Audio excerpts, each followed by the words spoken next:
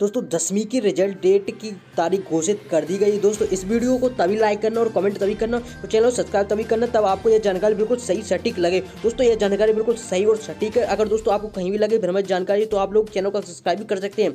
दोस्तों ये जानकारी बिल्कुल सटीक है। दोस्तों, मैं आपको प्रूवे बताऊँगा कि दसवीं की रिज़ल्ट की तारीख घोषित कर दी गई तो फाइनली दसवीं की रिज़ल्ट डेट घोषित कर दी गई है। ये खबर सौ सही है। दोस्तों, आप लोग देख सकते हैं, यहाँ पर यह ट्वीट किया गया है माध्यमिक शिक्षा मंडल।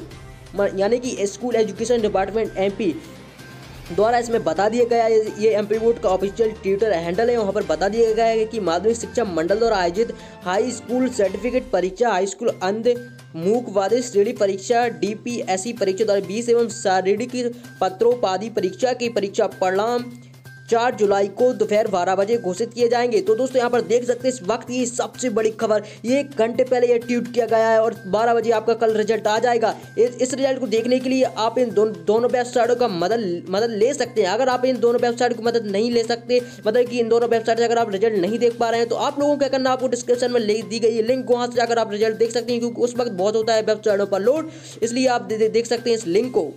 दोस्तों, उस लिंक की मदद से आप देख सकते हैं आपका रिज़ल्ट बिल्कुल आसानी से। दोस्तों, आपको ये वीडियो कैसी लगी, जल्दी बताएँ कमेंट बॉक्स में। और चैनल को सब्सक्राइब करना ना भूलें चैनल को सब्सक्राइब ज़रूर करें। और कमेंट बॉक्स में आपको बताएँ वीडियो कैसी लगी। चलिए, मिलते हैं नेक्स्ट वीडियो में। धन्यवाद दोस्तों। और रिज़ल्ट देखने के लिए डिस्क्रिप्शन बॉक्स को ज़रूर चेक करें। वहाँ पर आपको सभी लिंक अवेलेबल मिल जाएँगे, जहाँ से आप क्लास टेंथ का रिज़ल्ट देख सकते हैं। चलिए